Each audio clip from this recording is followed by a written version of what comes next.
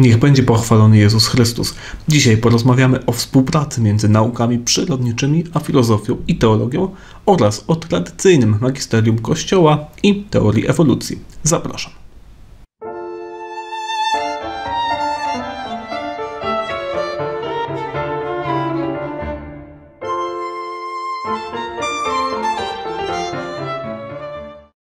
Na początku będę posiłkował się przemówieniem Piusa XII Genetyka, dziedziczność i ewolucja.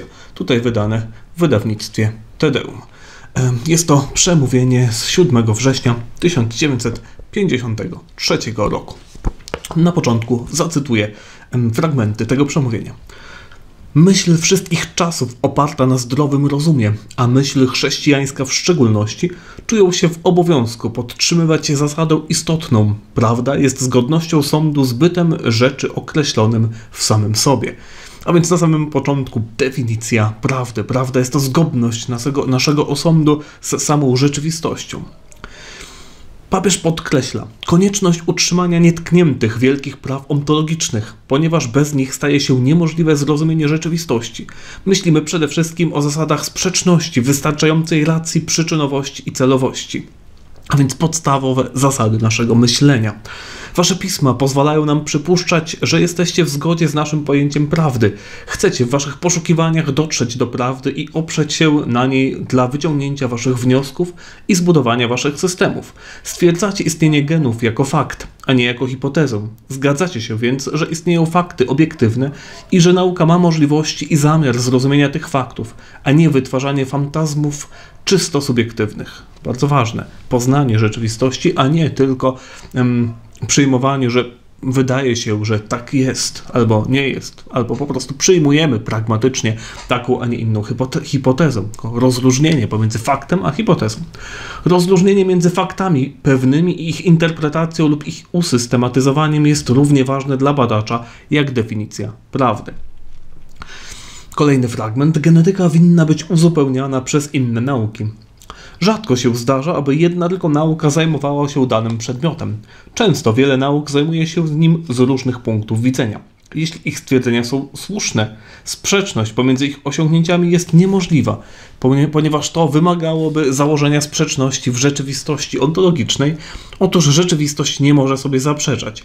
Jeśli mimo wszystko sprzeczności powstają, to muszą one wypływać albo z błędnej obserwacji, albo z błędnego zinterpretowania dokładnej obserwacji, lub wreszcie z faktu, że badacz, przekroczywszy granice swojej specjalności, posunął się na teren, którego nie zna Uważamy, że to wskazanie odnosi się oczywiście do wszystkich nauk.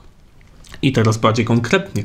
Jeśli więc teoria dziedziczności oparta na znajomości struktury jądra komórkowego, a ostatnio również struktury cytoplazmy i stałych praw przenoszenia dziedzicznego zdolna jest do stwierdzenia, dlaczego człowiek przedstawia określone charakterystyki, to nie jest ona jeszcze w stanie wytłumaczyć całości życia tego człowieka. Musi ona być dokompletowana przez inne nauki w momencie, kiedy stawia sobie pytanie odnośnie istnienia oraz pochodzenia duchowego pierwiastka życia, duszy ludzkiej, w istocie swej niezależnej od materii, konkluzje genetyki odnośnie komórki zaczątkowej i rozwoju ciała ludzkiego przez normalny podział komórkowy pod kierownictwem genów, to, co twierdzi ona o modyfikacjach, współdziałaniu dziedzictwa oraz otoczenia, nie są wystarczające dla wyjaśnienia jedności natury ludzkiej jako jego poznania umysłowego i jego wolnej woli. Genetyka jako taka nie może nic powiedzieć o fakcie, iż dusza niematerialna łączy się w jedności natury ludzkiej z podkładem organicznym, korzystającym z pewnej względnej autonomii. Psychologia i metafizyka, czy ontologia powinny tu wkroczyć, nie w celu przeciwstawiania się genetyce, lecz aby w zgodzie z nią podjąć, lecz również treściowo uzupełnić jej osiągnięcia. Z drugiej strony filozofia nie może lekceważyć genetyki, ponieważ w analizie działalności psychicznej winna ona pozostawiać w kontakcie z rzeczywistością. Kolejny ważny punkt, który papież chce nam mm, przypomnieć, który chce podkreślić, to wiara w świadectwo innego. Wielość i różnorodność źródeł poznania zwraca jeszcze uwagę na fakt o decydującym znaczeniu na rozróżnienie między wiedzą uzyskaną przez badania własne i tą, którą się zawdzięcza pracy kogoś innego, a więc jego świadectwu. Kiedy jest się pewnym wiarygodności tego świadectwa, stanowi ono normalne źródło poznania, bez którego ani życie praktyczne, ani nauka nie mogłyby się obejść. Trudność wynikła z nieodpartej konieczności wielokrotnego powracania do świadectwa innych oraz nastawienie duchowe wskazane wyżej u prawdziwego uczonego prowadzi do stwierdzenia, iż na swoim terenie doświadczony specjalista zawiera zawsze z prawdą obiektywną znajomość znacznie bliższą niż ktokolwiek z profanów. Nie możemy się powstrzymać od zastosowania do świadectwa Bożego, cośmy powiedzieli o świadectwie ludzkim. Objawienie, a więc świadectwo formalne i wyraźne Stwórcy, dotyka również pewnych dziedzin nauk przyrodniczych i pewnych tez waszej specjalności, jak teorii pochodzenia. Otóż Stwórca zaspokoił w najwyższym stopniu wymagania prawdy i prawdomówności. Osądźcie więc sami, czy jest godnym obiektywizmu naukowego odrzucanie tego świadectwa wtedy, gdy jego rzeczywistość i treść oferują wszelkie gwarancje. Jeśli zastanawiacie się nad tym, cośmy powiedzieli o pracy badawczej i poznaniu naukowym, to powinno być zrozumiałe, zrozumiane, że ani ze strony rozumu, ani też ze strony myśli ustanowionej w poczuciu chrześcijańskim nie spotyka się przeszkód dla dociekań, dla poznania, dla potwierdzenia prawdy. Istnieją zapory, lecz nie służą one więzieniu prawdy. Mają one za cel zapobiegać, aby niedowiedzione hipotezy nie były przyjmowane jako ustalone fakty, aby nie zapomniano o konieczności uzupełniania jednego źródła poznania przez inne oraz aby nie zinterpretowano błędnie skali wartości i stopnia pewności jednego źródła poznania. Zapory istnieją dla uniknięcia przyczyn błędów, a nie, ale nie ma ich dla prawdy. A więc tyle jeśli chodzi o tą współpracę pomiędzy filozofią, teologią a naukami przyrodniczymi. Teraz kilka słów o tradycyjnym magisterium Kościoła i teorii ewolucji. A więc co jest pewne z punktu widzenia nauczania Kościoła, z punktu widzenia tradycyjnej katolickiej teologii. Pierwsza rzecz, człowiek to nie jest tylko ciało, a więc ma on również duszę. Duszę nieśmiertelną, obdarzoną rozumem i wolną wolą. Dusza ta pochodzi od Boga. I tutaj mamy pewną istotną, nawet istotową różnicę pomiędzy człowiekiem a zwierzęciem. Właśnie ta nieśmiertelna dusza, obdarzona rozumem, zdolnym pojąć ogólne pojęcia i wolną wolą, gotową czy zdolną do tego, żeby podjąć wolną decyzję, nawet mimo naporu instynktów i emocji. Również katolicka teologia wymaga od nas, aby wierzyć w to, że ludzie, wszyscy ludzie pochodzą od wspólnych przodków, od Adama i Ewy. I w związku z tym nauka o grzechu pierworodnym wynika bezpośrednio z tego faktu, że wszyscy pochodzimy od pierwszych rodziców. Natomiast co nie jest pewne, to jest to, w jaki sposób Bóg stworzył ciało pierwszego człowieka. I tutaj um, zacytuję jeszcze um, kilka fragmentów z encykliki znowu Piusa XII Humani Generis, rok 1950.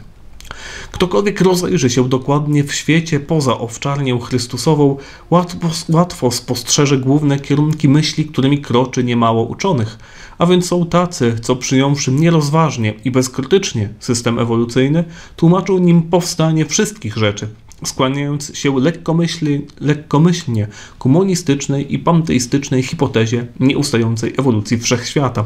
Tym właśnie poglądem posługują się chętnie zwolennicy komunizmu do skuteczniejszej propagandy materializmu dialektycznego celem pozbawienia ludzi jakichkolwiek pojęć o Bogu. To bardzo cenna uwaga, a więc nie jest tutaj mowa e, o samej tylko teorii ewolucji, tylko o tych, którzy przyjmują zupełnie bezkrytycznie system ewolucyjny i wykorzystują go, e, tworząc niejako prąd filozoficzny. Możemy tutaj mówić o ewolucjonizmie jako o prądzie filozoficznym, e, który ma tendencje monistyczne, panteistyczne, które również, jak zauważa papież, e, służą komunistycznym materialistom. A więc to bez wątpienia nie jest do pogodzenia z nauczaniem Kościoła. Dalej.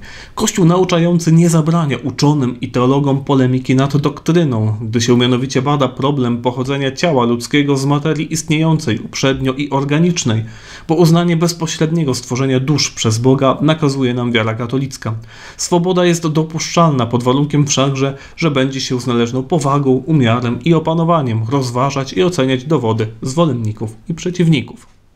A więc wielki spokój i rozwaga papieża, który zauważa, że są elementy filozoficzne, które, których nie można przyjąć, których katolik przyjąć nie może. Natomiast jeśli chodzi o konkretne naukowe badanie pochodzenia ciała ludzkiego, e, no to należy tutaj ze spokojem, umiarem i dokładnością prowadzić badania. Nie wolno bowiem wiernym przyjmować opinii poligenezy, której zwolennicy twierdzą, że po Adamie istnieli na ziemi ludzie nie pochodzący od niego jako prarodzica, drogą naturalnego rozmnażania się, lub że Adam oznacza pewną liczbę prarodziców. Okaże się bowiem całkiem niemożliwe, jakoby się udało pogodzić taką teorię z nauką źródeł prawdy objawionej i dokumentów Kościoła nauczającego o grzechu pierworodnym. Tutaj jakby Kolejny istotny element z punktu widzenia nauki Kościoła, grzech pierworodny, nauka o odkupieniu, wszystko to e, wymaga koniecznie jedności rodzaju ludzkiego.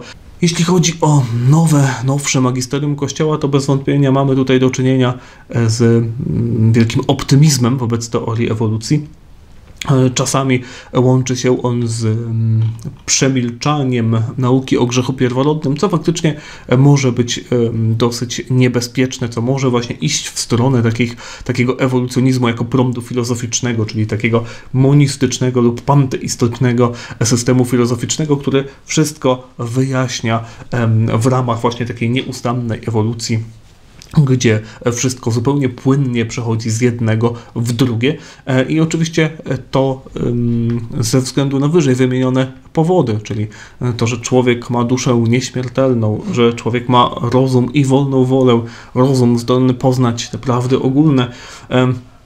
Ze względu na to katolik nie może przyjąć takiego poglądu. Niech będzie pochwalony Jezus Chrystus.